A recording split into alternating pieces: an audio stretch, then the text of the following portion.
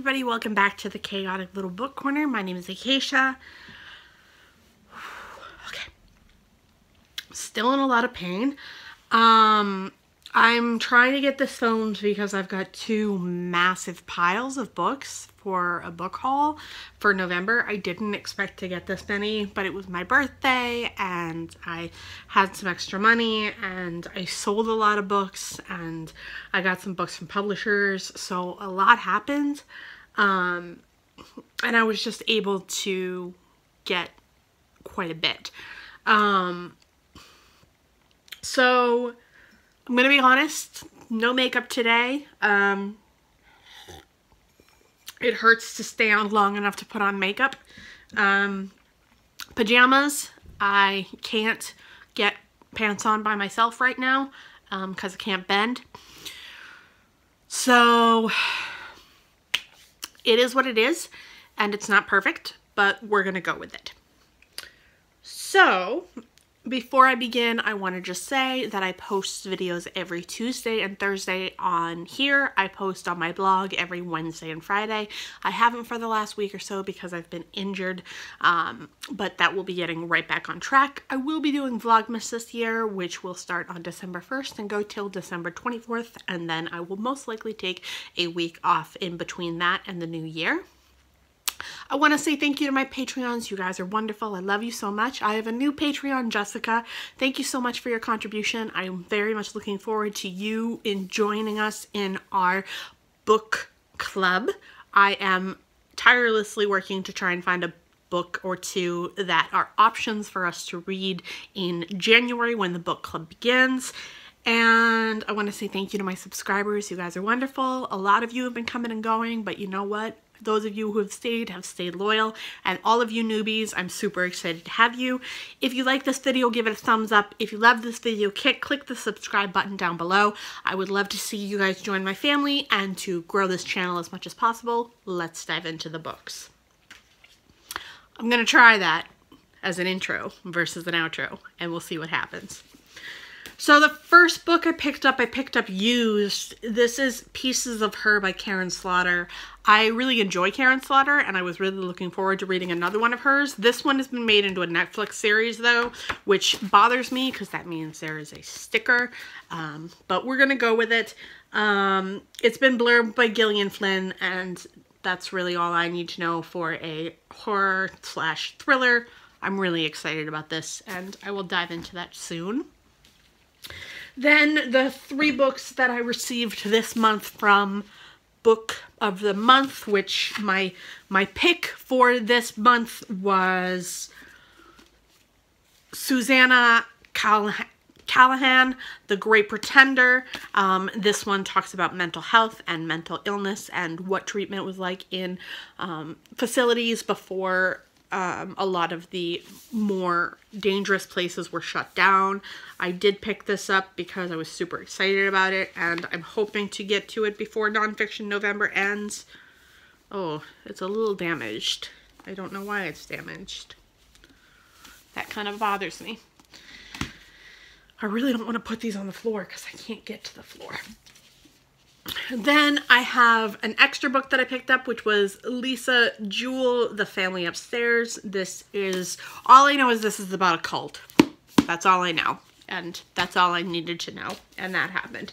And then this was an added bonus, but it wasn't actually one of the month picks. This is Leaving the Witness by Amber Scorah. Um, this is Exiting a Religion and Finding a Life, which is about a woman who leaves the Jehovah's Witness. So I'm very excited about that. That should be good. Then I placed an order from Foyles and I picked up this. This is It's Okay. It's Not Okay to Feel Blue and Other Lies.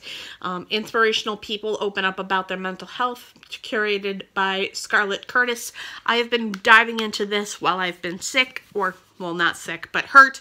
And um, I've really been enjoying it. It's a bigger book than I thought it was when I ordered it, so it's been a decent one to keep me busy.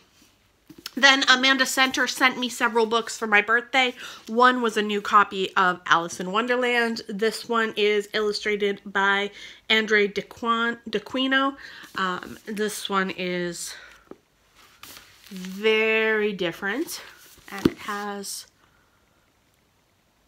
words on the side so that's fantastic. And then she also sent me this. This is Mad Hatters and March Hares edited by Ellen Datlow um, this is a short story collection um, uh, that are based around uh, Alice in Wonderland. Some of the people in it are Catherynne Valente and Sean McGuire. I don't know a lot of the other ones, but I look forward to picking this up and reading it.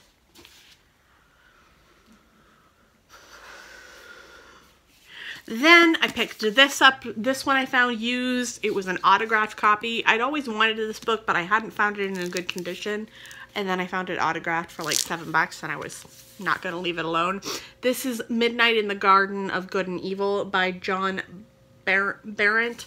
Um, this is a nonfiction about a murder in Savannah. Yeah, so I'm very excited about that.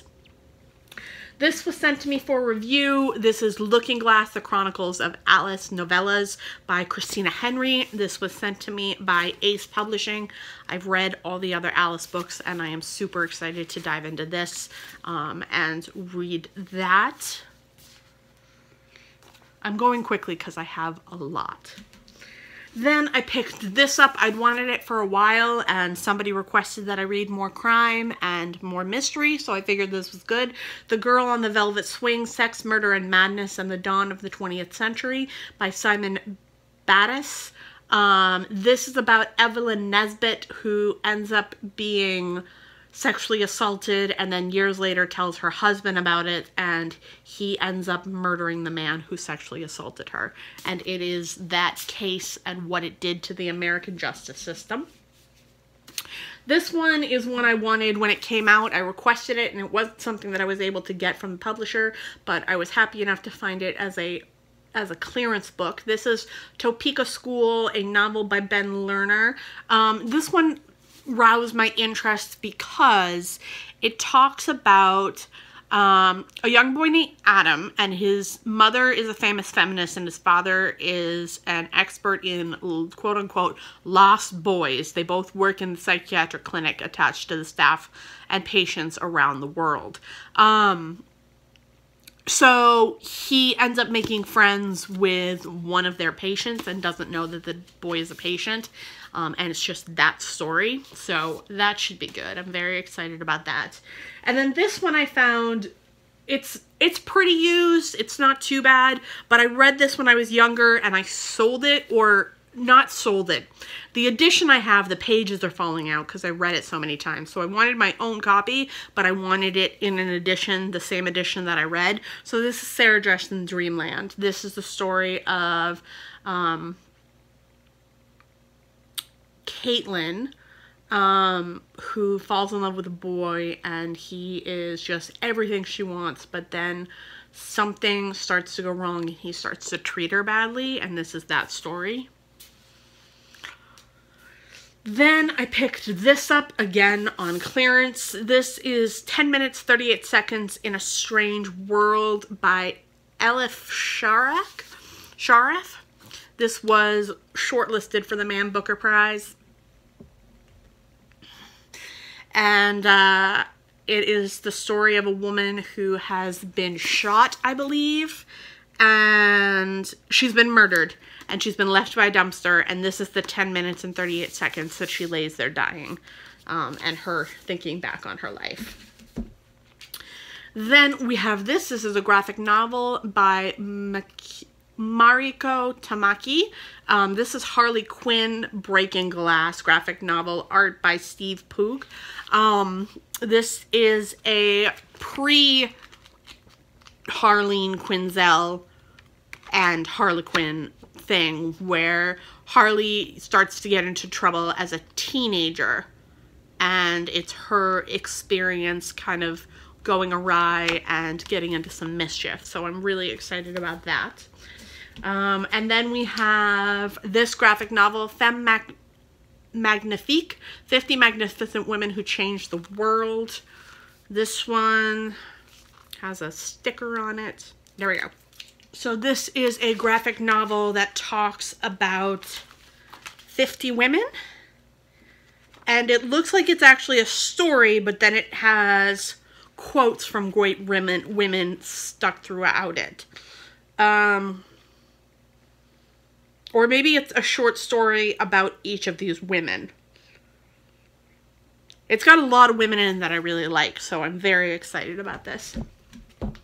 Then I picked this one up just for fun. This is Hollow Kingdom by Kira Jane Buxton. I was looking for something lighter to read, so I picked this up.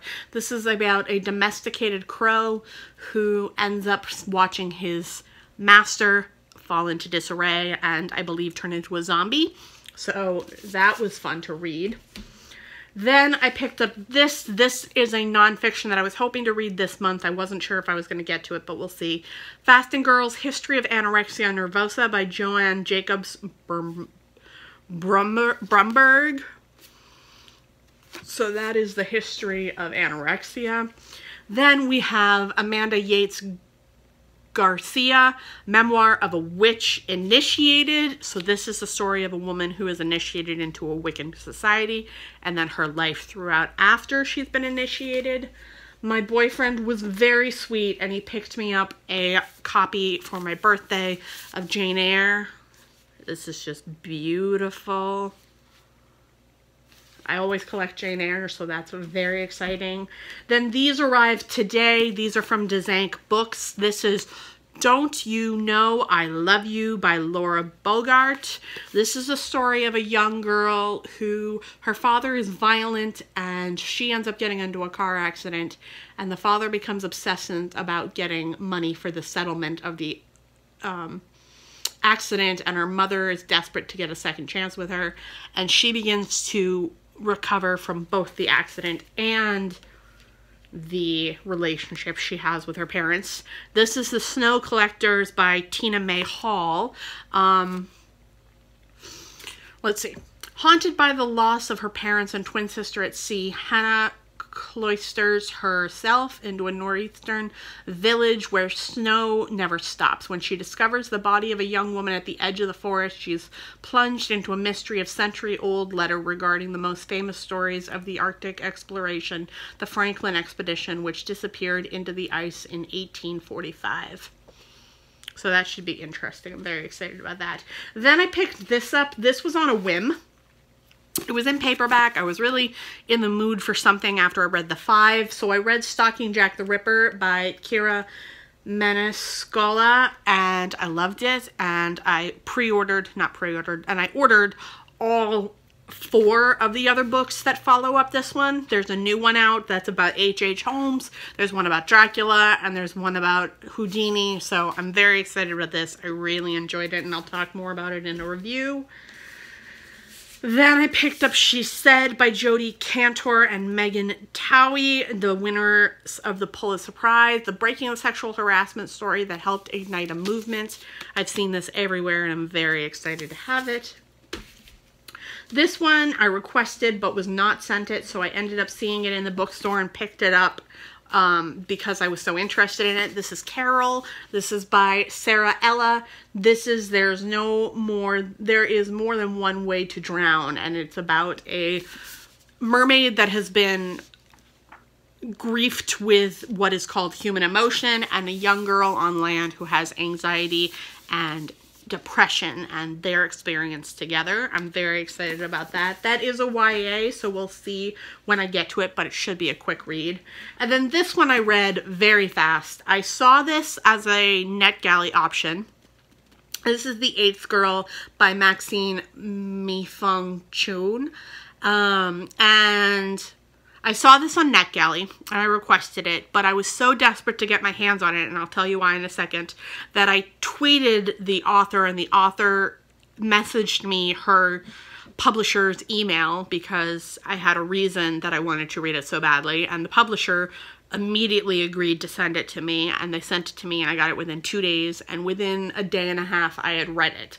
So, this one woman, multiple personas um, but which one is telling the truth. This is about DID. So, this is written from a woman who actually has experience as a psychoanalyst and psychotherapist, so the exploration of DID is actually pretty accurate. I really enjoyed it. I have thoughts about it. I will do a personal in-depth review on it. Um, I will also talk about it in my wrap-up. This comes out 320 so march 20th 2019 or either march 19th or or maybe it's just march 2020 yeah that's all it is march 2020 it doesn't give an exact date.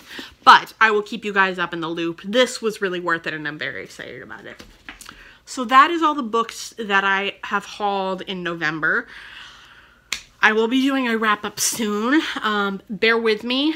I will probably actually do a wrap up in December during Vlogmas because I need videos in Vlogmas because I plan to do seven videos a week. So that's that. This is that video. Thank you so much for watching. If you like this video, leave a comment in the description and let me know what you're thinking.